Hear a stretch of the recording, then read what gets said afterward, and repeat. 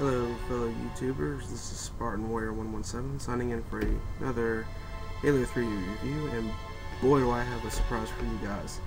Um, I went I went to the nearby city and uh, picked up a very awesome Halo figure so I'd like to share that with you guys right now. I picked up the Halo 3 Hunter that came out very awesome figure, you guys. I love the box too. It's very cool. A nice little aquarium style box. Uh, figure's worth 25 Halo points if you're wondering. So let's go on and get this bad boy out of the box, huh? Opens up right from the bottom, so you don't have to ruin the box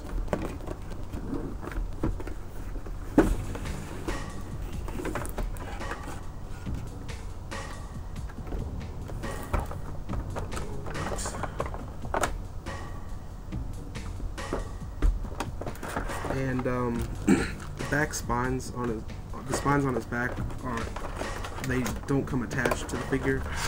They come in a little baggie like this. So you have to put those on. And um, they just pop right in.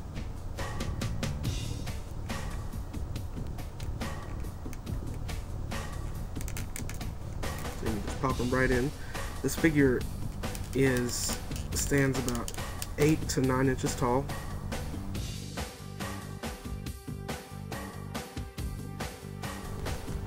And is absolutely beautifully detailed. Um, these go for $25.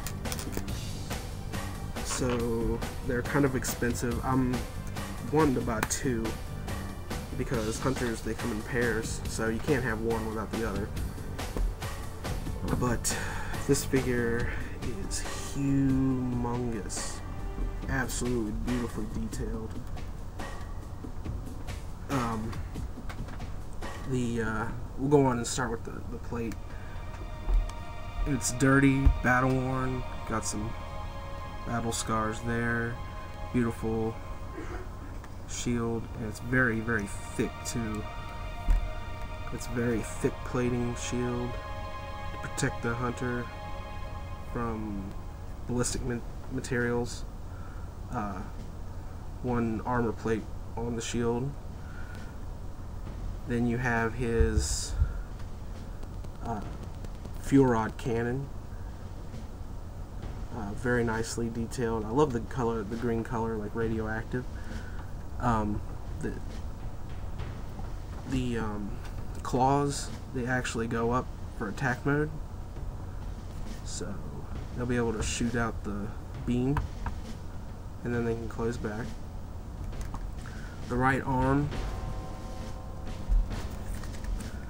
with the the shield, these actually open up and they're very they're actually pretty sharp so you know be careful around them they're actually very sharp and they close back like that the cool thing is the head it, um, when you get the figure it's going to come in attack position but if you actually pull the head out it'll pop it out and give it kind of a longer longer hue.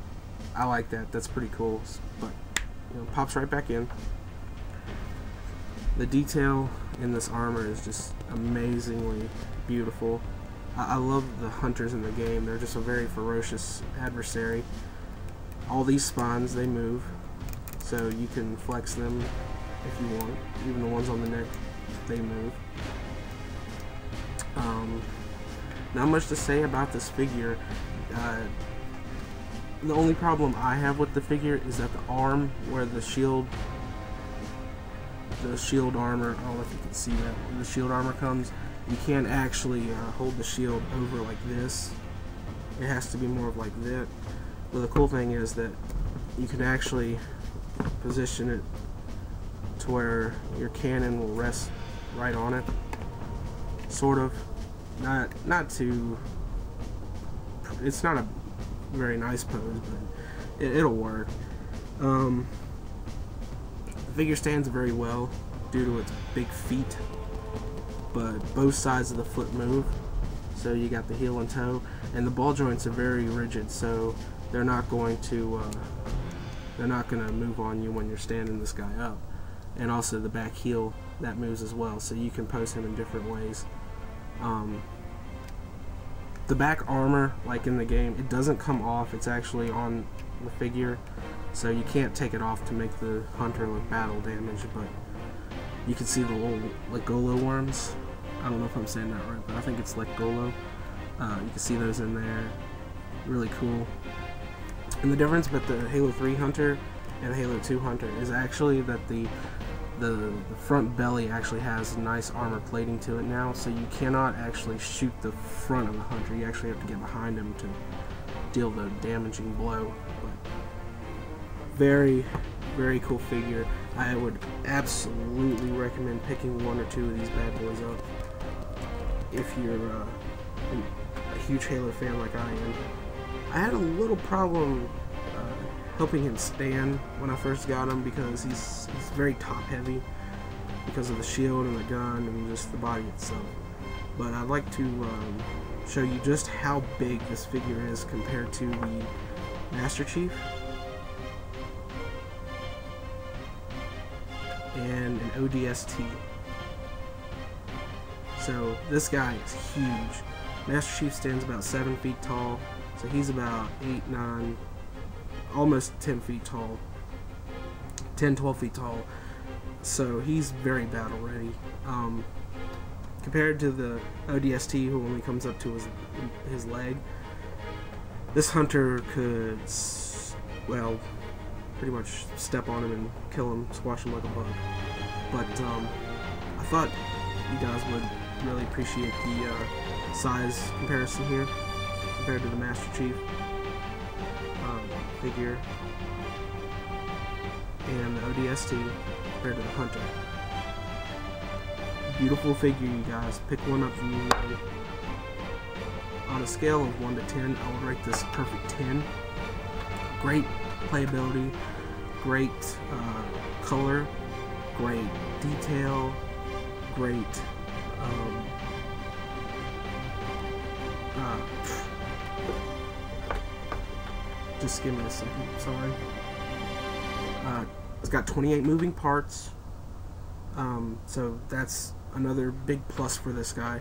Consider that the Brute figures, they only have about 24, 26, something like that. So, pick one of these figures up, pick two up if you want. I actually got this at Toys R Us because nowhere around here sells them at all. Um, so you might want to try there. If you can't try there, try Spencer's.